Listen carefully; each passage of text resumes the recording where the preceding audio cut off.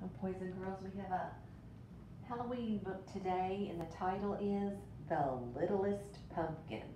Last week we read about uh, the biggest pumpkin ever, but this is the littlest pumpkin. The author is R.A. Herman, so that's the person that wrote the story. The illustrator is Betina Ogden, so that's the person that drew the pictures. There's our title page, The Littlest Pumpkin.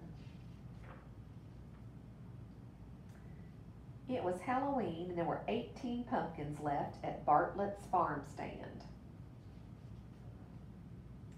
The pumpkins looked their very best because they all wanted to be taken home and made into jolly jack-o'-lanterns. The littlest pumpkin had the biggest dreams of all.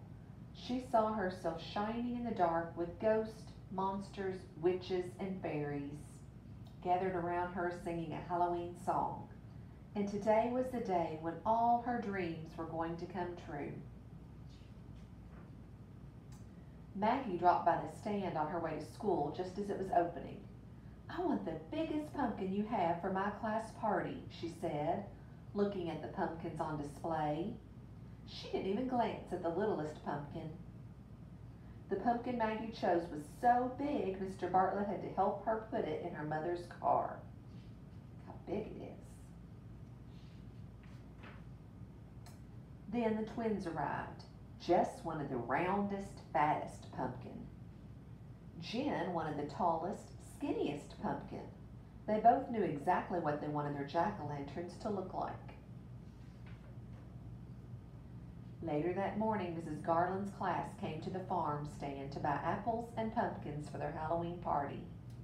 The littlest pumpkin was very excited when she saw all the children.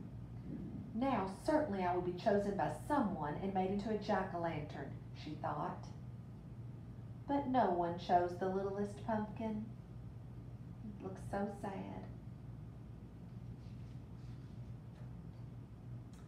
All day long people came to the farm stand to buy pumpkins. Mr. Potter ran in to choose a pumpkin for his daughter Kate. Poor Kate was home with the flu but she had drawn pictures for her dad so he could see exactly what kind of pumpkin she wanted. Mr. Potter looked at every single pumpkin until he found the right one. The sun began to set and only four pumpkins were left at the farm stand. One pumpkin had a bruise on its back. One pumpkin was lumpy and bumpy. One pumpkin didn't have a stem. And the last pumpkin was the littlest pumpkin.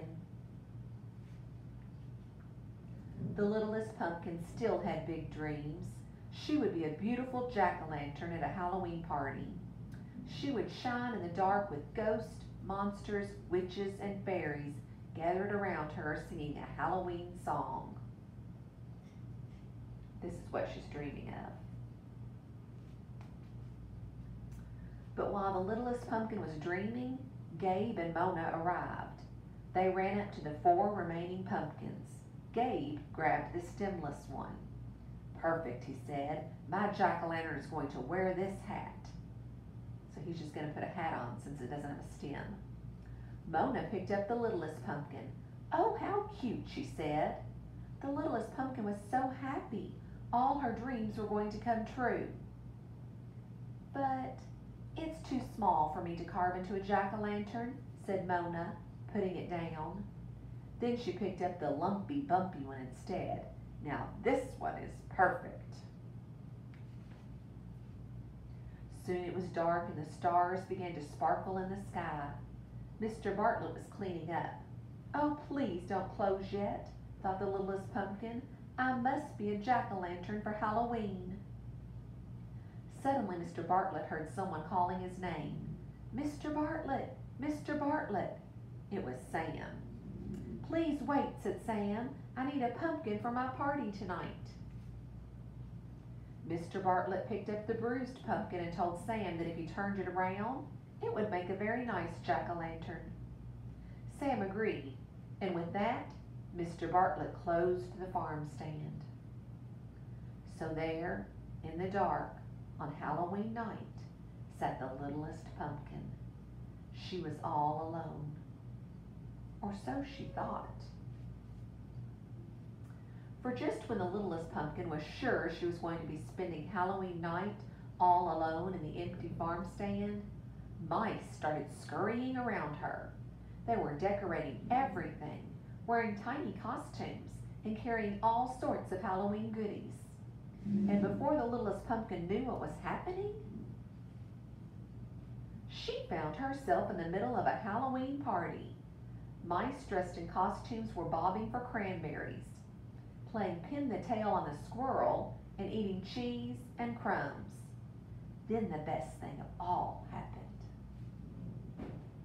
The littlest pumpkin was turned into a jack-o'-lantern.